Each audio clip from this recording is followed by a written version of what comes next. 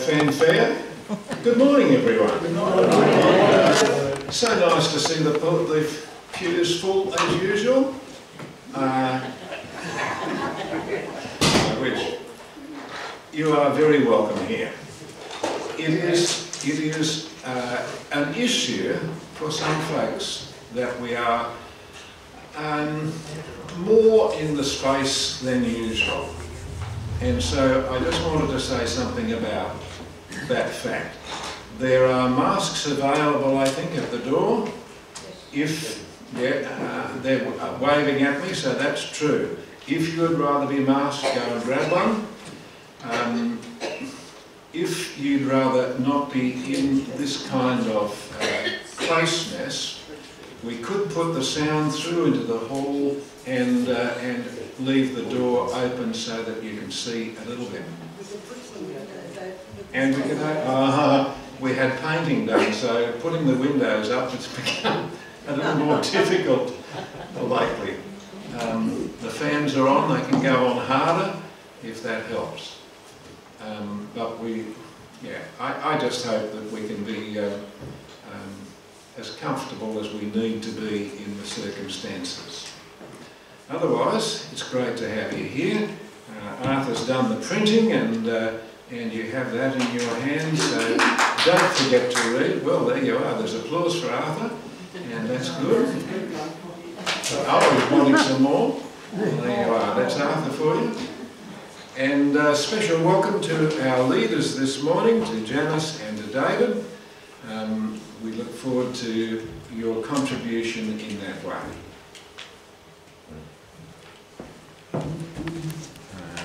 I better sit at the front. No one ever sits down the front. You could have cardboard pews at the front.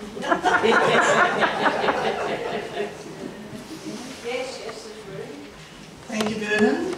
Welcome. It is good to see you all here today.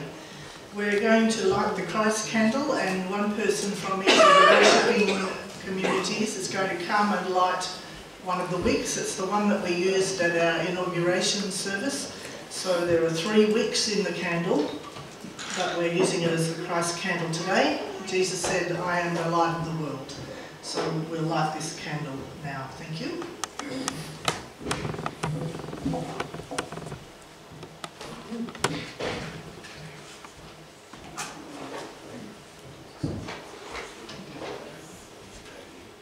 I'd rather it called a candle of three wicks than a three-wicked candle.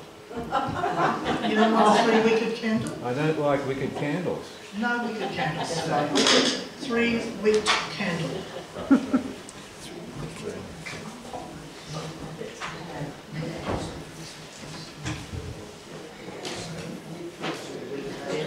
I wonder if all ministers are so pedantic.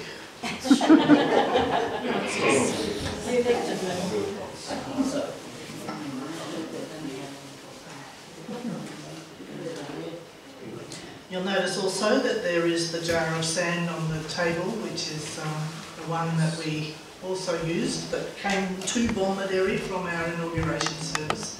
And each of, our, each of the worshipping communities had a jar of sand, symbolising the uh, blending together of the three congregations.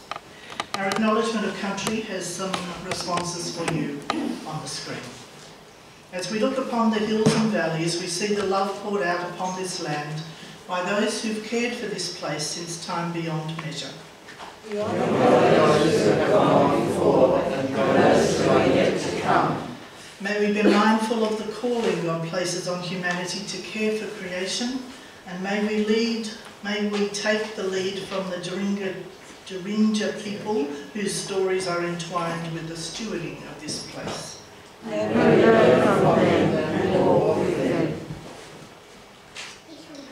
And our call to worship. Rejoice, folks, Jesus is in our midst. Be glad, friends, Jesus has bread and fish to spare. praise jesus from the seas of food Sing for joy, people of God. God gathers up the places of our lives that nothing may be lost. And And our first song is Immortal, Invisible, God, Only Wise. And we'll stand if we're able.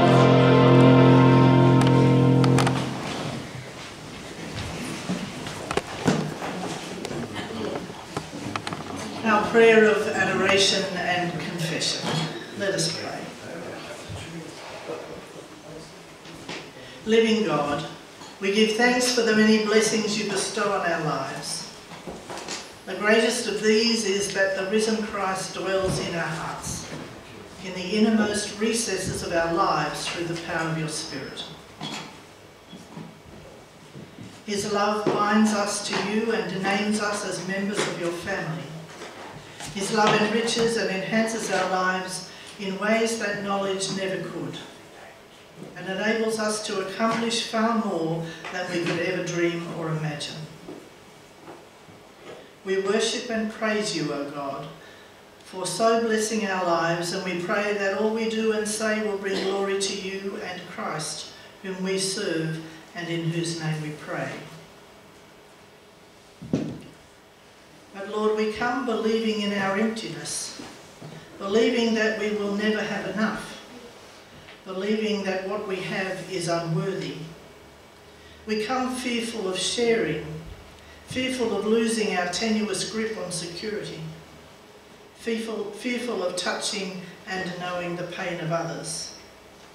We come overwhelmed by the hunger, overwhelmed by the suffering of children near and far, overwhelmed by the endless tales of senseless violence, greed and death.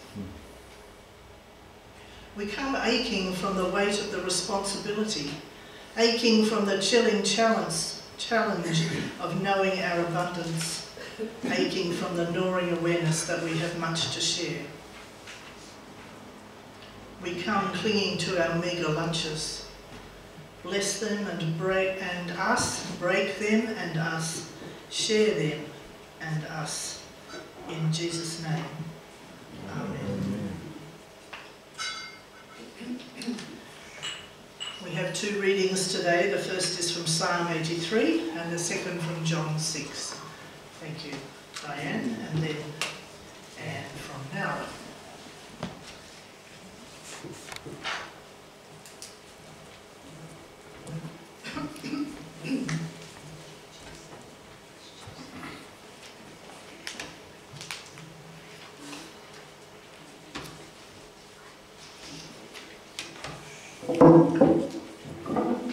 Our Old Testament reading today is Psalm 83.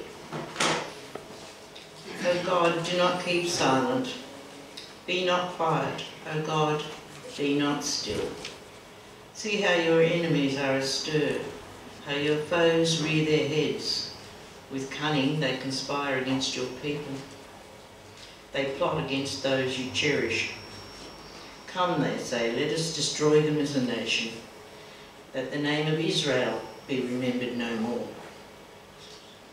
With one mind they plot together, they form an alliance against you.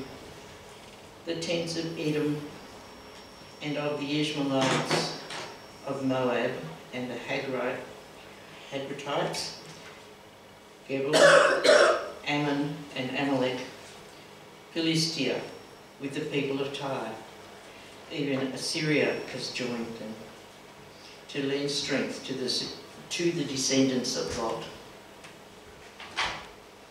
Do to them as you did to Midian, as you did to Sisera and Jabin at the river of Kishon, who perished at Endor and became like refuse on the ground. Make their nobles like Oreb and Zeeb, and all their princes like Zebah and Zalmunna who said, Let us take possession of the pasture lands of God.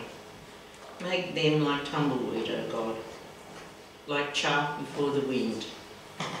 As fire consumes the forest or the flame sets the mountains ablaze, so pursue them with your tempest and terrify them with your storm. Cover their faces with shame so that men will, will seek your name, O Lord. May they be ashamed and dismayed. May they perish in disgrace.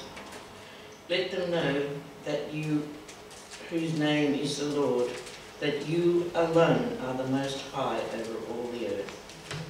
This is the word of God.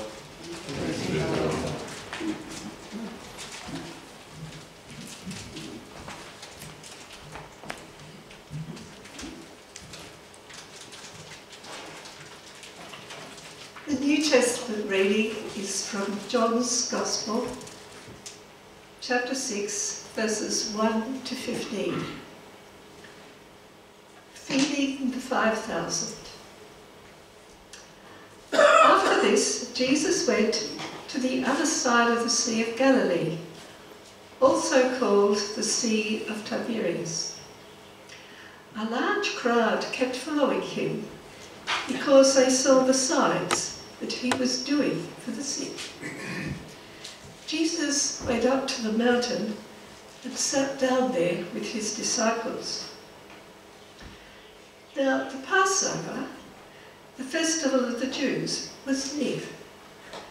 When he looked up and saw a large crowd coming towards him, Jesus said to Philip, Where are we to buy the bread for these people to eat? He said this to test him, for he himself knew what he was going to do. Philip answered him, Six months' wages will not buy enough bread for each of them to get a little. One of his disciples, Andrew, Simon Peter's brother, said to him, There is a boy who has five barley loaves and two fish. But what are they amongst so many people? Jesus said, Make the people sit down. Now, there was a great deal of grass in the place, so they sat down, about 5,000 in all. Then Jesus took the loaves And when he had given thanks, he distributed them to those who were seated. So also the fish, as much as they wanted. When they were satisfied, he told his disciples, Gather up the fragments left over, so that nothing may be lost. So they gathered them up, and from the fragments of five barley loaves, left by those who had eaten, they filled twelve baskets. When the people saw the sign that they had done, they began to say, This is indeed the prophet who has come into the world. When Jesus realised that they were about to come and take him by force to make him king, he withdrew again to the mountain by himself. This is the word of the Lord.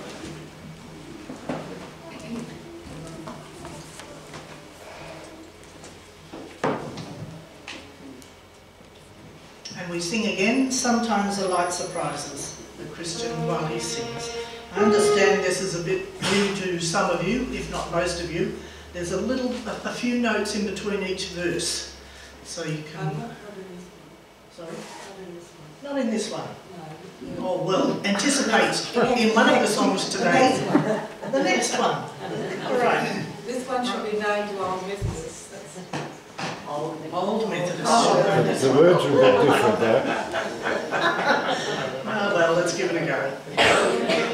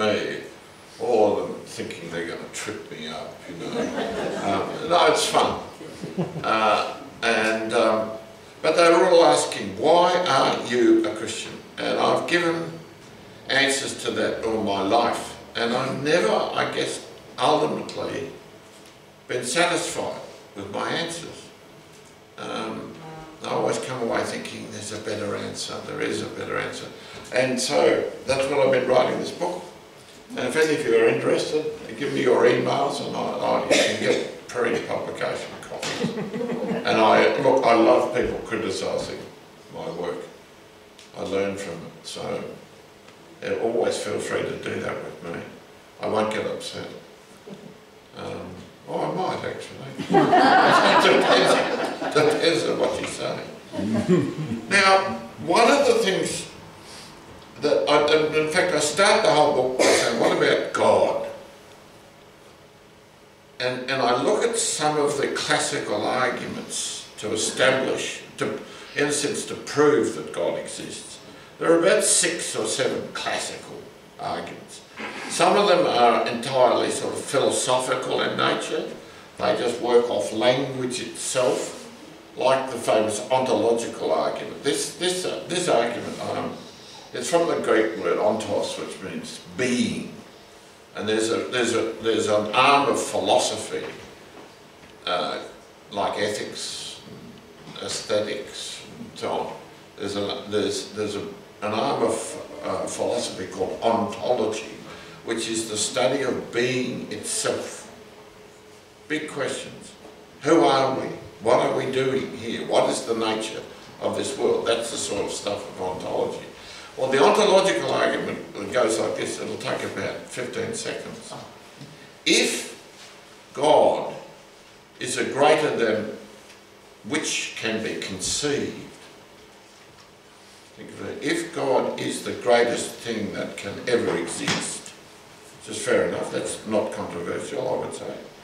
If God is greater than what can be conceived, then it is greater for God to exist than not to exist. Therefore God exists.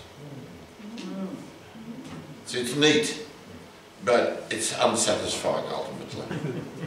because it's, it's a device, you know, it's a clever device. But So a lot of the arguments for, for establishing the existence of God, I really see them as, as sort of ways of, for myself and, and us as a Christian community to establish that there is a type of rational support.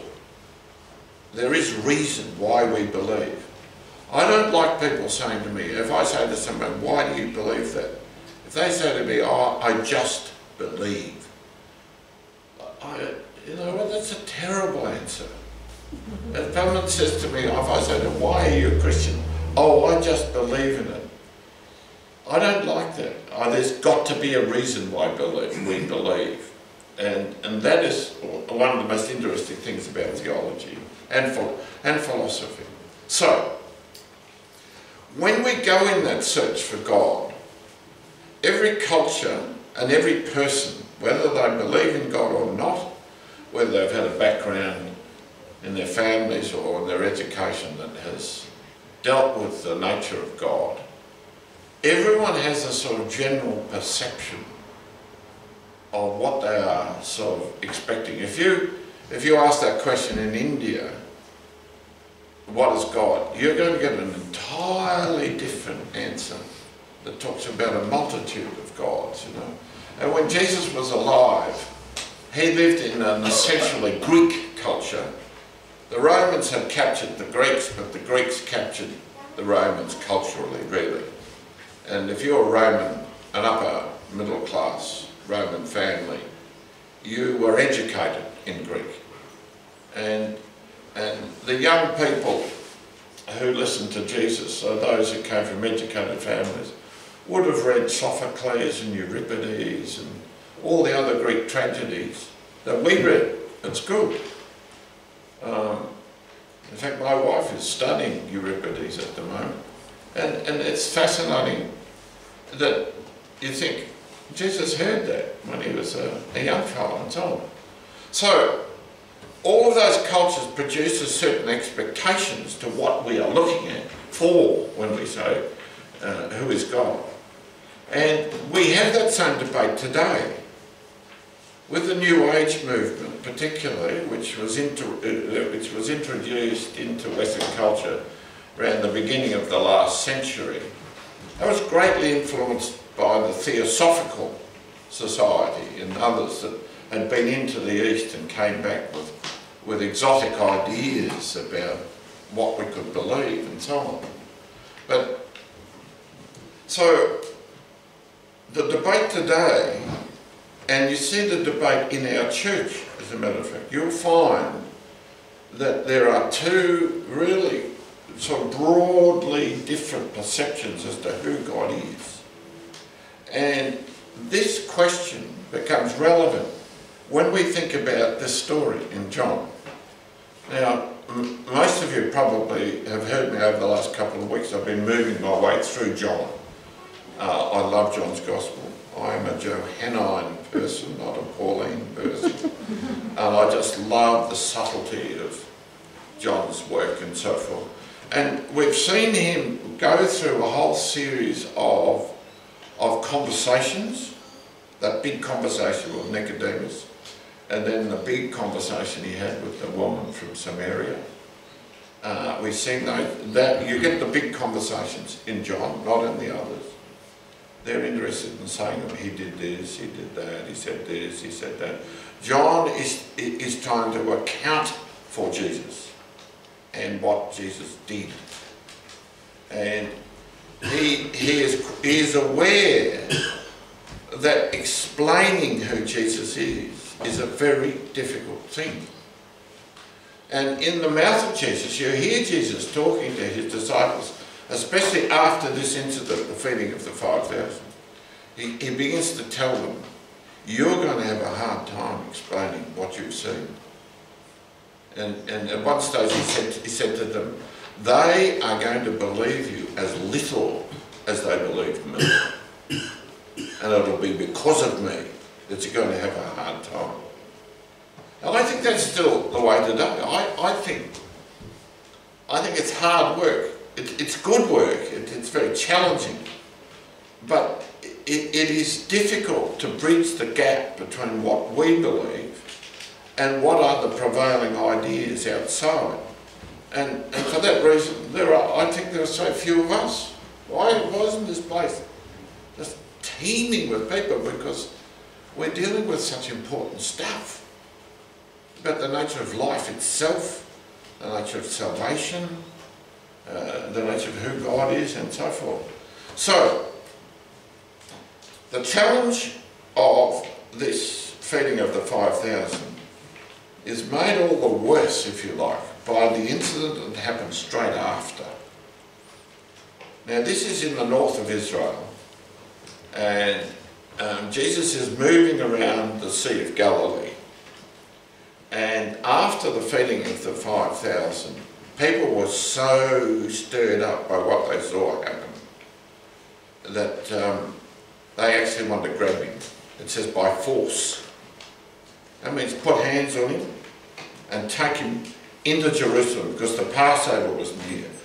Um, I'm sure that that's what they had in mind. They wanted to make him king because Galilee was a place of great ferment. When Jesus was six years of age, there was a rebellion in Galilee. Um, a bloke called Judas, not Judas Iscariot, he's known as Judas the Galilean. He refused to pay the tax, the Roman coin, uh, because being a good Jew, it had an image on it. And it, and it actually, it had an image which talked about the deification of Caesar. So a, a, a pious Jew, just to touch that coin was, in a sense, blaspheming. And it was a great humiliation that the Jews had to pay their taxes. The Romans were very good at collecting taxes. Um, that's what the Romans were interested in taxes, corn, oil, that's, that's olive oil, and wine. Just about deals with life today. Um, so, the, um, Jesus caused real problems in the way he approached the nature of the, uh, the Jewish religion and his life with, with, with Rome. And of course, eventually they killed him. But when he was six, this guy, Judas the Galilean, uh, he said, I'm not going to pay this tax anymore. I am a Jew. And I am, I am a sincere Jew. And we are told not to handle idolatry, not to have anything to do with it. And he believed that if, if, he, if he sort of took this stand, which was in his mind a righteous stand, that God would help him. That God would come in as God had come in with Gideon. And, you know, there's just a few blokes took on this huge army and defeated them. Uh, because they were holy and these men were righteous characters. So Judas, the, the Galilean, started a rebellion. And, and probably the worst thing that happened was that he overrun, overran the local Roman battalion, about six or seven hundred men, and, uh, and pushed them out. And so people started to flood towards him. God is with you. You've defeated the Romans. And the Romans backed off and waited for about three months. They gathered armies from all around the area. They, they, grabbed, they gathered troops from Germany, as a matter of fact, who made their way all across to take on this rebellion. And they went through Galilee like mad savages, like the, I guess with the way the Russians are going through the Ukraine. And they crucify 6,000 people along the roads uh, lead in and out of Galilee. So when Jesus was a boy, he would have seen them. That enormous barbarity. So what they wanted to do with Jesus after they saw the feeding of the 5,000 uh, was politically explosive. It says they wanted to make him king. Imagine, uh, the Romans would have heard about this. The Romans had a very fine secret police. They knew everything that was happening. There were informers everywhere, going back to them saying, guess what he said, you know, and so on. So, uh, so Jesus, um, for political reasons, I guess, said, I'll have nothing to do with this, but also for other reasons, for a sort of a really basic theological reason. And he tries to explain it to them. He just walked away from them. I'll have nothing to do with this. And, and the next day they found him. He had gone up to the eastern side where the hills are, the Golan Heights in fact, that's where he went, into that area. And he, um, he was praying, I guess, because from this moment on, he changes he, he, he doesn't do as many miracles. He, uh, he keeps his head down more, no, no big crowds much, and he starts to concentrate on talking to his disciples and telling them, I'm going to be crucified. And they spend their, their time saying, no, you're not. What do you mean you're going to be crucified? It's ridiculous. You are the Messiah. So that battle goes on. And so, that's by way of introduction, all. Um, sorry. Uh, I changed my look. I'll tell you what's happened. I'll be. I'll, I'll, the way I work out, I work on my sermons is I, I, the Sunday before I look up the readings, and in this case I didn't like any of them, so I thought I'm going to stay with John's Gospel. That's what I said I'll do, and I know what the next section is, and I read it on Sunday afternoon or at night time, and that's now in my head. And every day I'm thinking about it, I'm thinking about it, I'm reading stuff, I'm Um, I'm, I'm maybe even go, going back and checking the language and the syntax, all that sort of stuff, during the course of the week. And by Friday night, my head's abuzz with ideas, and I've more or less got a structure. And I get up about half past five on Sunday mornings and I put it all together. And this morning I got up at half past five and said, no, I'm not going to preach about any of that. And so I've had to rewrite my whole sermon. So because I was thinking about this, I'll, I'll, I'll, go back to what I began by talking about this, this um, search for God and the sort of underlying culture that determines what our expectation of God is. And I would say today there is a sort of there's a struggle within theology generally, and certainly you see it in the um, in the Uniting Church, um, and and the, it has to do with who we think God is in the nature of God's participation in this world. What we see here is John, as he told us in that uh, first chapter of his. He he uh, he said. Uh, he said, nothing in this world exists that was not made by the Word. And he's talking about Jesus. He said all things were made by him. And then he said this, this character, the Word, came into the world. This is what John, the whole of John's Gospel is about. He came into this world, even though he made this world. He's the actual creator of everything. He walks into this world and no one recognised him. That's what John said. He said then he went to his own people and they, they, they did not respect him. So that is an astonishing situation, you'd have to say, for, for God to be in. And for the Greeks, of Jesus' day, that was an impossible concept. It was ridiculous and almost childish and in the end blasphemous. This idea that God would actually reduce himself in such a way as to submit to the limitations of, of this world. This world is mortal, it changes, and it, it has an end and a beginning, presumably. That is, that is not eternal. They are not eternal qualities. So God can have nothing to do with them. The Greeks had their gods, but their gods were sort of half humans. Uh, and they were very close to their gods, and they were sort of mythical characters and so on. But this idea that God would come into the world and actually dabble in the world and put up with the, the constraints and the compromises of this world made no sense. And I think that's true today. A lot of my friends who, who tell me they believe in God, I say, well, describe God. What they describe is a distant sort of character. Like the New Age, my New Age friends talk about they don't use the word God, they use the word cosmos or entity or reason. They say there is a guiding principle that, that looks after the cosmos, as it were.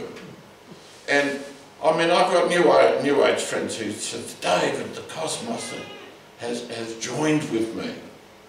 I said, what do you mean? Who's the cosmos? And they think in terms of this distant sort of character uh, that doesn't participate in the world, but stands back from the world, and is in this very broad sense a type of ordering principle a, and a friendly, essentially friendly sort of presence. Now, that, that sort of theology is called deism. And uh, it's, it arose in Western culture after the Enlightenment. In 1700s, when Australia was formed, the prevailing philosophical framework in England was deistic. So, and it's also called the watchmaker theory of God, which means, so God has made the world like a watch, beautiful, elaborate, and self-contained. He's wound it up and the world is now going and God steps back and, and takes this sort of avuncular sense of, um, you know, just watches it happen. And in a way, for God to step into the world is a contradiction. If God is stepping in to change the world, change is philosophically, the implication is something can be better. You don't change perfection. That's a self-contradiction. If you change perfection, it wasn't right before. So this is an argument against miracles, you see. God can't perform miracles, especially ones like this, you know, feeding of the five things. You can't do it because you are disturbing the natural order, and the natural order was made by God, so um, it, you can't change it. It, it must be perfect. Now that that is an argument. I don't buy it. But, but, but it, it's a persuasive argument and it's an argument, if you like, which gets God off the hook a bit. Um, but from my point of view, I take the opposite view. I say Jesus was God. And I say also that he did these things that we read in the scriptures. Now the big one is what happened the next day, or that night, the night of this incident, when the disciples got in their boat to row off um, the other side. They rowed out about three miles, and Jesus comes walking on the water. That's an extraordinary thing to say. You line up a room full of theologians and say to them, how many of you believe that Jesus actually walked on water? You'd be lucky to get half the people confidently putting their hands up. Oh, no, no, no, no, no, no, that's... Uh, that, that isn't almost in, in the deist sort of framework. It doesn't make sense. So, we have, we have in a, in, in a sense to make a decision where we stand on this sort of issue. And the the story of the feeding of the 5,000 is a significant moment to make that sort of decision.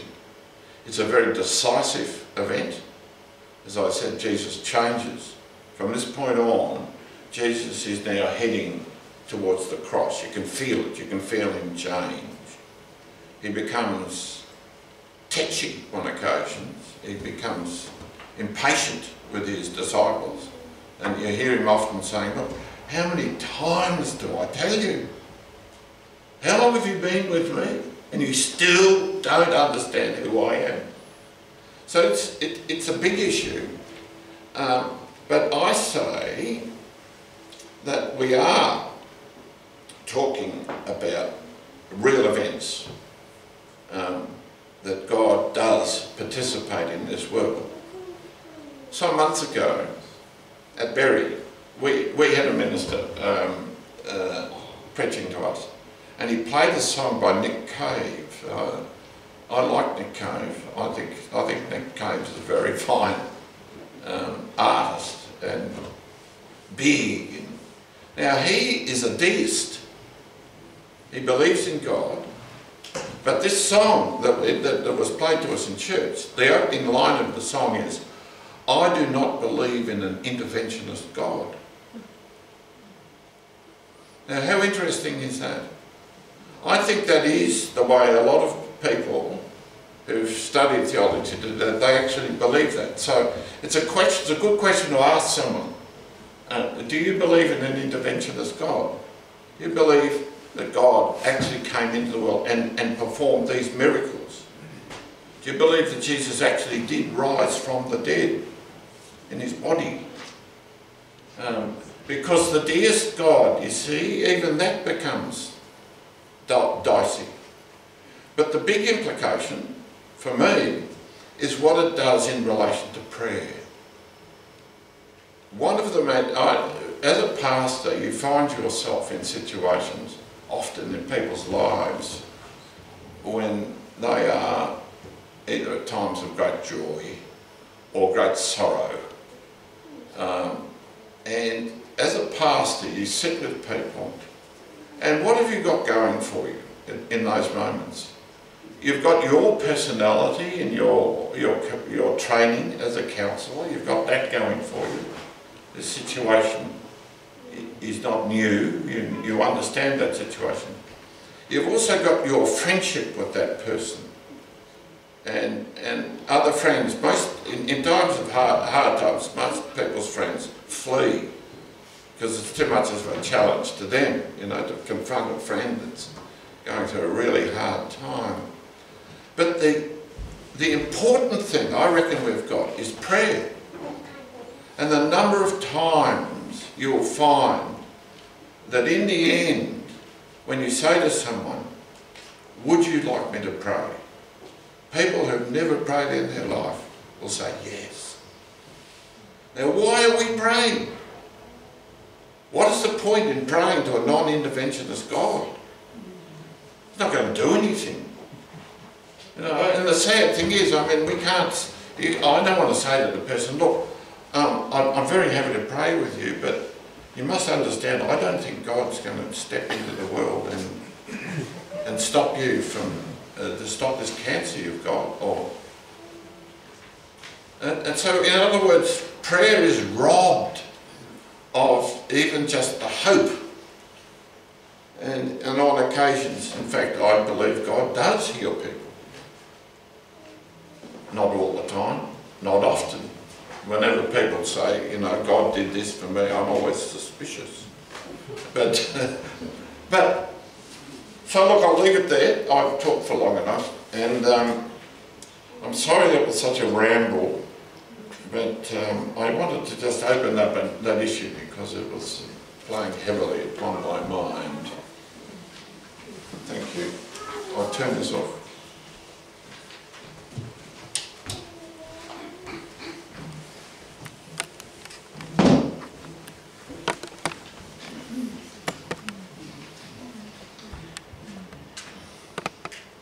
Thank you, David. Lots of food for thought.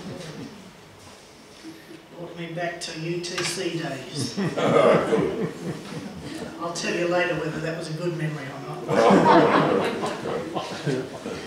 We're up to our announcements. And I have a few, but there may be others that you want to draw our attention to as well. Um, sadly, a Nowra faithful person has passed away, Shirley Arthur, and her funeral is on Wednesday. The information's in the mention, and it's at- out at Worrigee. You'd be most welcome. There's a congregational meeting after this service, and you've had weeks of um, information about that with the agenda and so on. Um, I- That's after morning tea, I'm assuming? I don't have control after this. Yes, thank you. Yes, yes. Wonderful, thank you, Janet.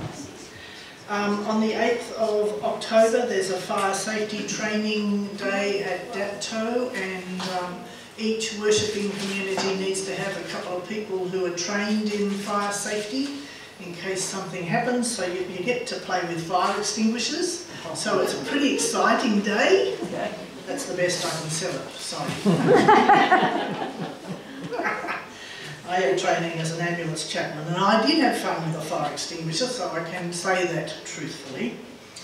Um, the uh, food pantry out of Bay & Basin, um, one of the local um, retirement villages, the staff there had wanted to help in some way, so they're organising a free lunch at the same time as the food pantry, so that when people come for their food, they can come and have a free lunch as well, and that's on the 27th of October. I share that because I think it's a, a lovely opportunity to talk about how the community is getting involved, but also that you might pray for those who come and for those who serve.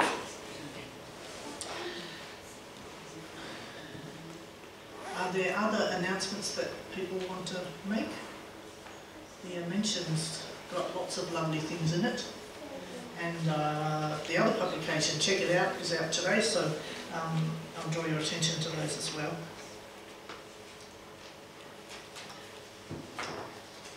Okay, um, I'm not sure, you, you take up the collection here, don't you? Someone, thank you Morris, that would be lovely if you could do that, um, to take up our offering and then we will pray. over that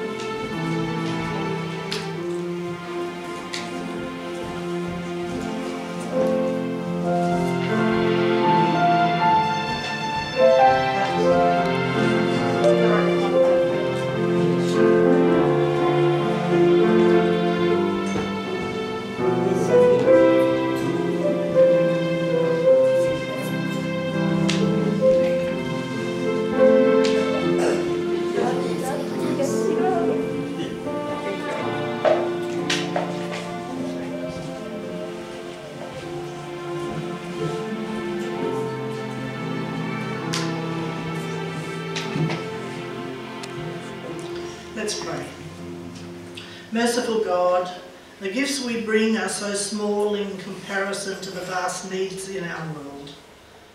Nowhere near enough to save the thousands dying of starvation around the world, or even to meet the needs of the hungry and homeless in the Shoalhaven. Yet we have brought what we can. As you once multipli- multiplied the five small loaves and the two fish, we ask that you multiply these gifts as well, so that once again the hungry may receive all they need and more. Amen.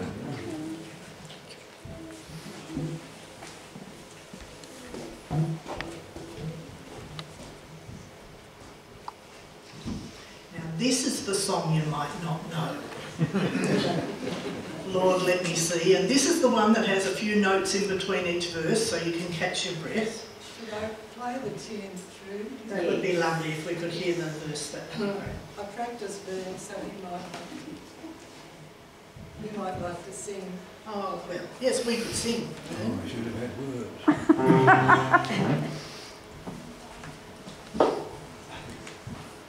I'm going to have to face this way because I don't have the words. Here you go.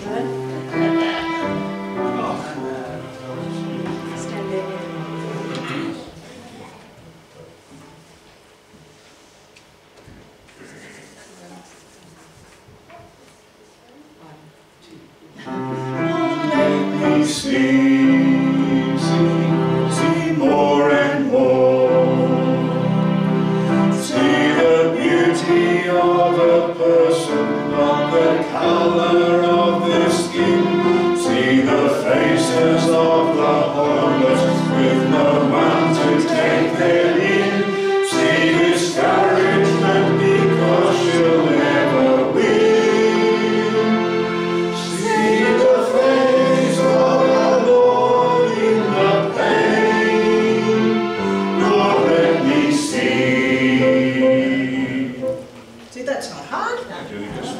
Maybe you'd like to stand and we'll sing from the beginning.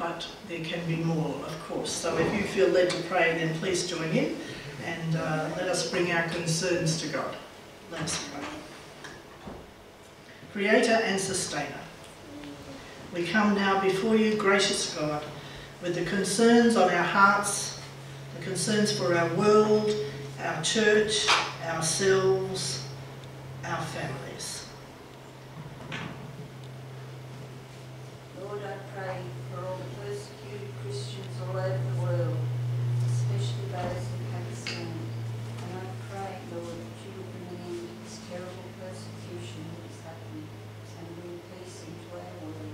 In Jesus' name I ask these things. Amen. Lord, in reflection of the song that we have just sung, let us pray in for those who are unfortunate, find themselves homeless, find themselves by society. We think initially, as Jesus taught his disciples to think of the local community, then the extended community, and then the world. So we think of our local communities of the three congregations seated here today. That you give us the knowledge and the capacity lend hand to those that we meet in the street that have no home. They may be sleeping in their car. They may be sleeping under a bridge. Those that society has forgotten. You think of the extended part of our country where homeless is ravaged. And then the world. Lord, draw your people near to you. Give them the courage and confidence to stand up and say, here is a helping hand.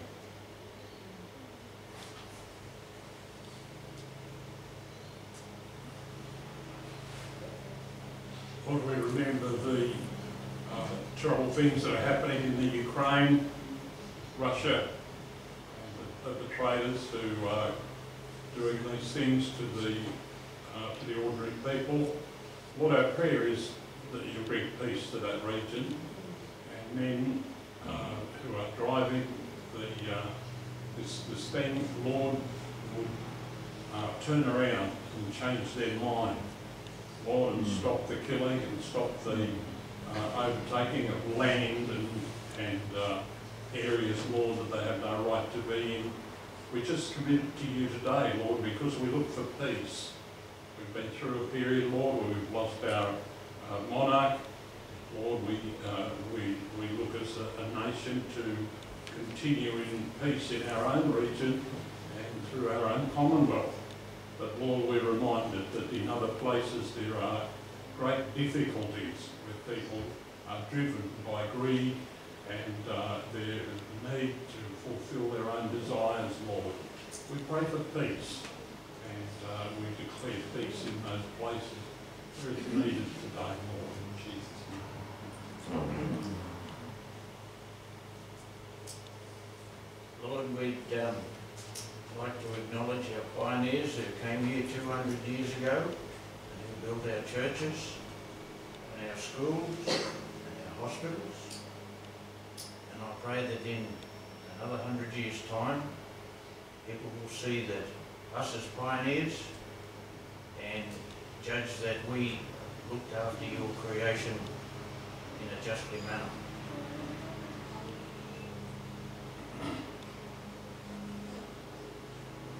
Lord, be with those in the northern and western parts of this state who are facing threats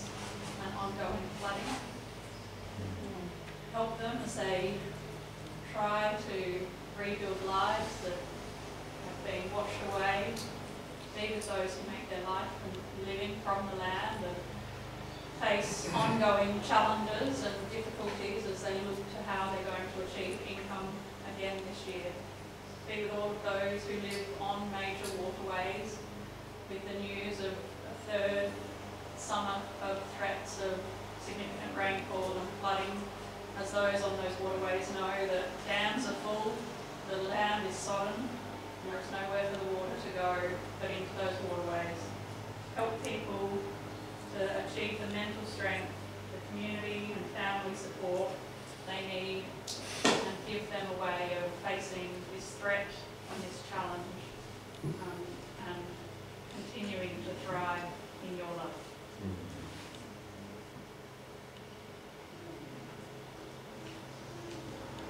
Heavenly Father, we've lost a dear friend in Shirley Arthur. We thank you for her life, the joy that she brought to so many of us. So we pray today for her boys and their families as they mourn the loss of mother, grandmother and great grandmother. Mm. And we pray for Janice as she conducts the service mm. on Wednesday.